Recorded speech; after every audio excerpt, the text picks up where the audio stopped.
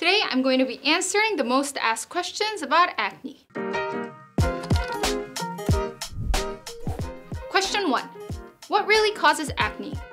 One thing that causes acne is excessive sebum secretion or puberty due to hormonal changes. Plus, if you have clogged pores due to poor exfoliation care, that could also lead to acne. P. acnes bacteria causes an inflammatory reaction that could also lead to acne. So it's more common to have a combination of these factors rather than just one. There are other additional causes such as eating habits and stress that could also affect acne, so you can't really single it down to one cause. So guys, just know that acne is very complex and a lot of different factors can cause acne. Question 2. What are the four types of acne? So we have these four images. First up, we have papules. Now papules are acne with bumpy like millet seeds that have no pus. They're really difficult to extract properly, so I recommend that you take care of them with skincare. I'll talk about how to take care of this kind of acne later on in the video, so just wait a little bit.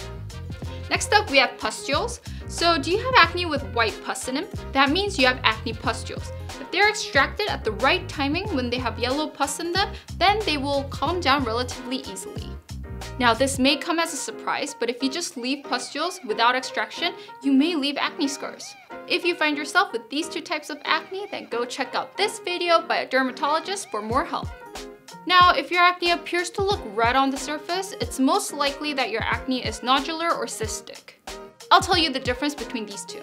Nodular acne look like little bumps underneath the skin and they are not filled with inflammation. Unlike nodular acne, with cystic acne, you can see redness and inflammation. In these two types of acne, the infection penetrates deep into the skin because of P. acnes and sebum being trapped inside the pores. That's why these types of acne are hard to get rid of with just skincare because this mostly affects the surface of your skin.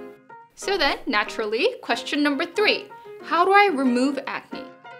For this question, I'll focus more on the types of acne that you can treat with skincare. For nodular and cystic acne, it's better to go see a dermatologist and get a prescription before they leave acne scars. Benzoyl peroxide treats acne with antibacterial reactions through active oxygen. However, it's a chemical that can irritate the skin, so make sure you use it in low concentrations and make sure to moisturize. Next ingredient, retinol and retinal.